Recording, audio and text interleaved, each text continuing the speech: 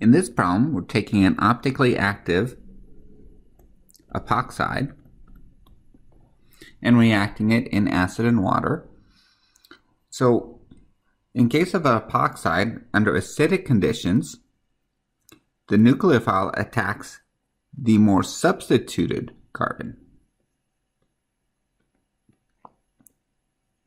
So the way it works is you protonate the epoxide to activate it. And if you use sulfuric acid to do that, I'm okay with that, but chances are it's really going to be H3O+. plus.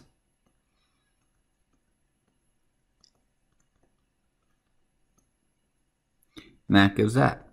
And that particular leaving group is so good, it's leaving before slightly before the nucleophile gets there. You can think of it's not really a nice um, equilateral triangle.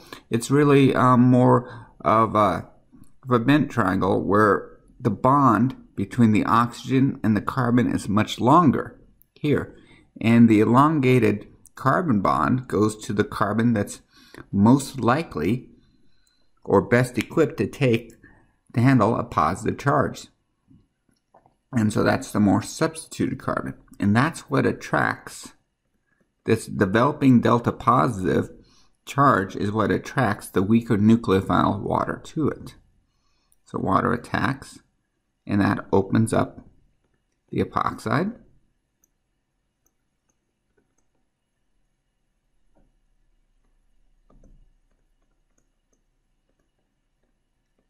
Like so. And then followed by a deprotonation.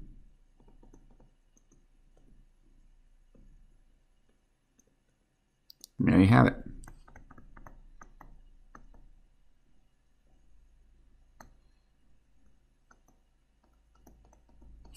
Like so. And during the entire process, we started out chiral, optically active, and it stayed chiral during the entire process, so the product is still optically active.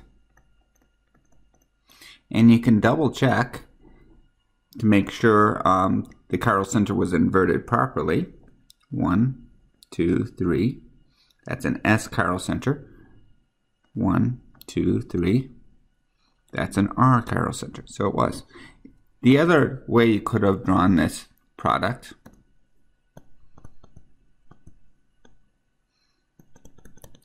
would have been this.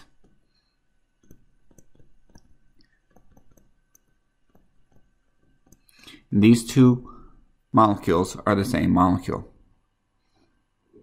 But here, it's more obvious that the chiral center was inverted. It was a wedge. It became a dash.